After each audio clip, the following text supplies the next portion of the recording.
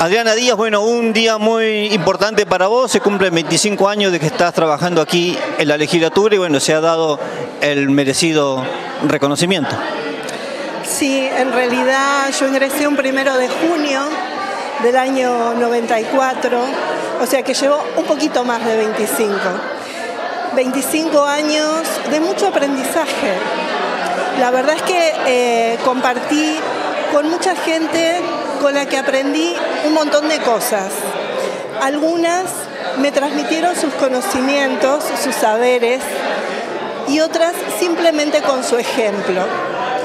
Em, dice un tango que 20 años no es nada, pero 25 son un montón. Bueno, actualmente, ¿qué funciones estás cumpliendo? Em, desde hace cuatro años estoy a cargo del área de extensión parlamentaria, es eh, una tarea muy noble la que desarrollamos desde allí porque eh, trabajamos con, por y para la gente. Eh, somos como un puente entre la legislatura y la comunidad.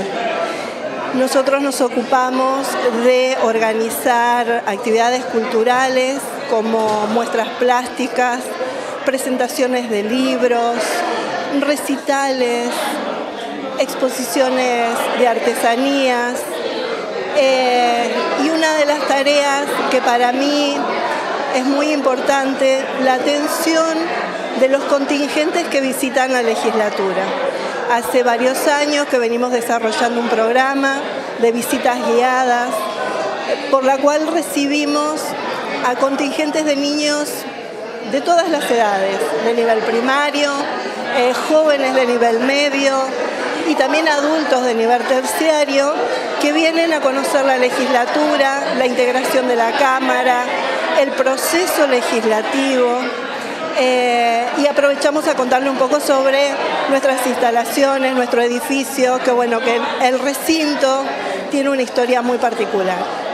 Eh, por suerte, los últimos cuatro años pudimos articular también con Casa de Gobierno y con el Superior Tribunal de Justicia.